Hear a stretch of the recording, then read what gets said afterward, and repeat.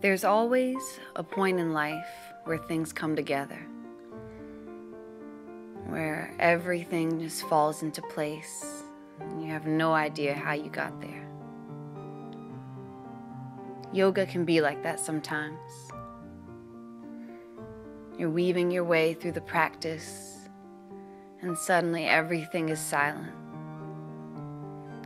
Maybe your toes touch your head, you just come into that space where you feel so alive. It's the golden moment.